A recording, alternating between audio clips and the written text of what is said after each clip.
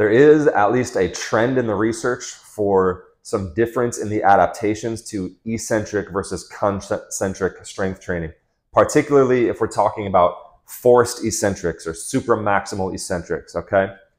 So eccentrics tend to produce a greater increase in fascicle length. Fascicles, remember, are the smaller subdivisions of the muscle. It's a bundle of muscle fibers, okay? So larger increase in fascicle length. Also tends to produce more distal hypertrophy, okay? Distal versus proximal. Distal basically means like further from the center of your body or further from the, the origin of the muscle. So on the bicep, for example, distal bicep, proximal bicep, okay? So eccentric training tends to produce more distal hypertrophy. Now, does that mean the increase in fascicle length, the increase in distal hypertrophy, does that mean that sarcomeres are being added in series?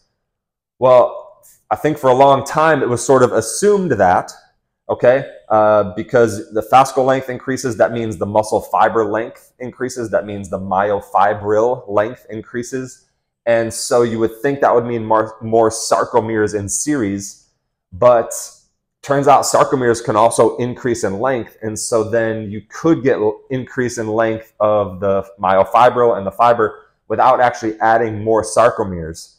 Um, for the most part in research, people are just measuring fascicle length. They're not actually counting sarcomeres because it's not easy to count when there's like, you know, 30,000 of something in a, in a 10 centimeter muscle fascicle, right?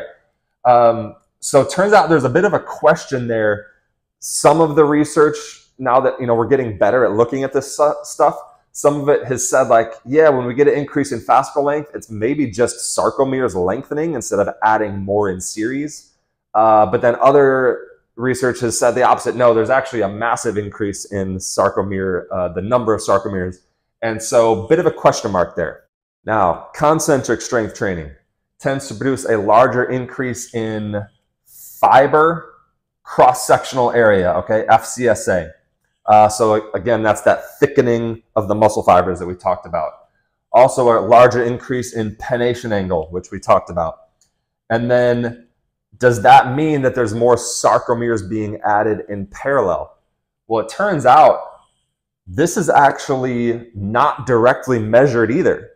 Um, and so it's really not confirmed. The way that they've tried to confirm it um, hasn't confirmed it. It's actually shown like, oh, maybe it's not what's happening when a muscle fiber gets thicker or when a fascicle gets thicker, right? So, kind of some questions there actually.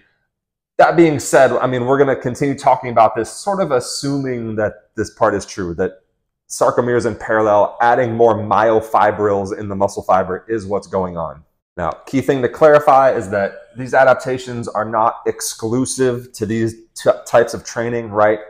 It is not as if eccentric training cannot improve fiber cross sectional area, right? It's not as if concentric or let's just say traditional strength training doesn't produce any distal hypertrophy, right? It's just there's a bit of a trend where these things tend to happen, uh, or these adaptations tend to occur to a greater degree in response to these certain types of muscle actions. In particular, increase in fascicle length is not exclusive to supramaximal eccentrics or forced eccentrics, right? People talk about the increase in fascicle length being this really important adaptation from heavy eccentrics, things like Nordic hamstring exercise, stuff like that. Um, but it is not exclusive to that. So other factors that very clearly have an influence on fascicle length are range of motion and velocity. So if you train at a longer muscle length, that increases fascicle length compared to training at shorter length. And then also training at higher velocity compared to slower velocity tends to increase fascicle length more. So practically speaking, if you have an athlete who let's say they, you know, they jump a lot and they have dunk sessions, and then they also, you know, do squats and lunges, just normal squats and lunges with full range of motion. If they do supramaximal eccentrics for their quads, will that further increase their fascicle length than dunking and training with full range already did? I don't think we know that.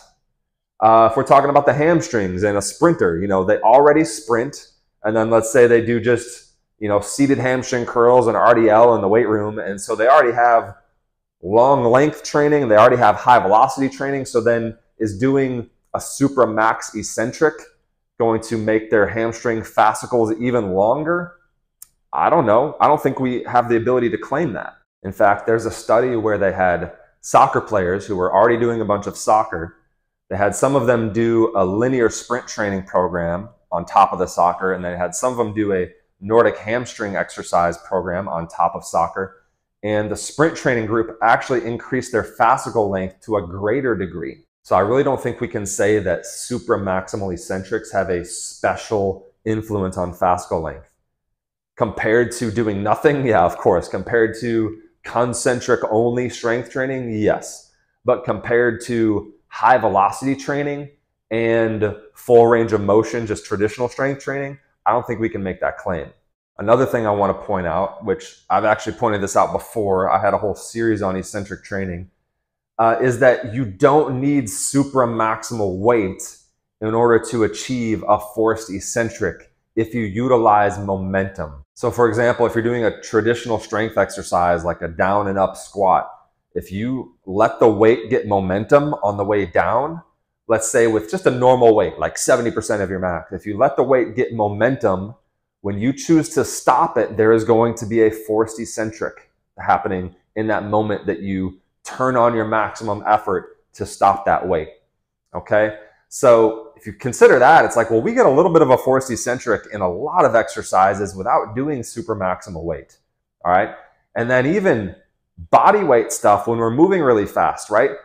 uh, again, sprinting in the hamstrings and some of the research on it has really informed us on this, where eccentric strength can be improved significantly by just doing linear sprint training. So that's unloaded, um, but you have high velocity leg movement that the hamstrings are having to stop. This happens in the late swing phase.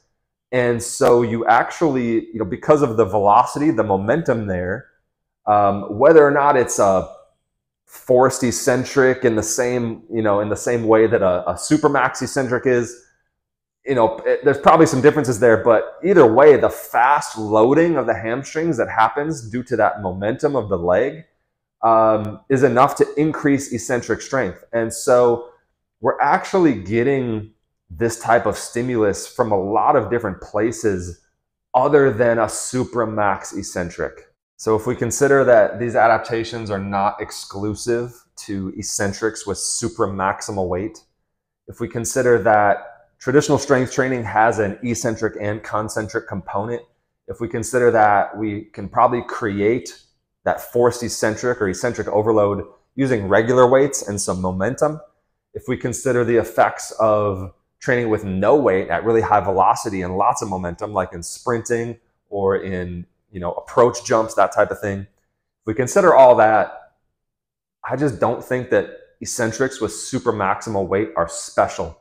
I don't think they're uniquely beneficial. It is certainly a fine variation to do in your intensive strength training. Okay, I'm not criticizing the use of it. I just don't know if it's particularly important or something that you like absolutely have to have in your training. All right. And I have been down this road. Uh, multiple times, even going back to college 15 years ago, I was doing this with squats, right? Um, i have done it with myself, I've done it with other athletes. I don't think it has ever produced like some exceptional results compared to just getting stronger in general. Now, if you are going to use it, I think it's actually better suited to smaller, more isolated exercises where you can really focus your effort on that, that target muscle to truly create that stimulus you're going for, that forced lengthening of the muscle, it's a lot harder to do it well on your big compound movements.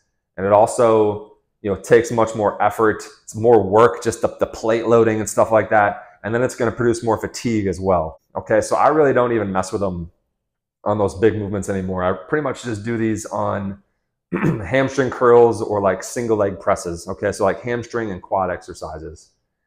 And even then, you got to consider the stress of what you're doing and you have to plan that well within the big picture of your training, right? So I'm not going to do eccentric overload hamstring curls if I'm going to be sprinting anytime in the next like three or four days, okay? Because it's, it is a, a hard stressor on that muscle and sprinting itself is a hard stressor on that muscle. And so yeah, you really you got to pick your spots to use that type of stimulus. All right, that was kind of a lot. Hopefully, it cleared some stuff up for you guys. Hopefully, it was helpful. I'm going to post a bunch of links to research in the video description.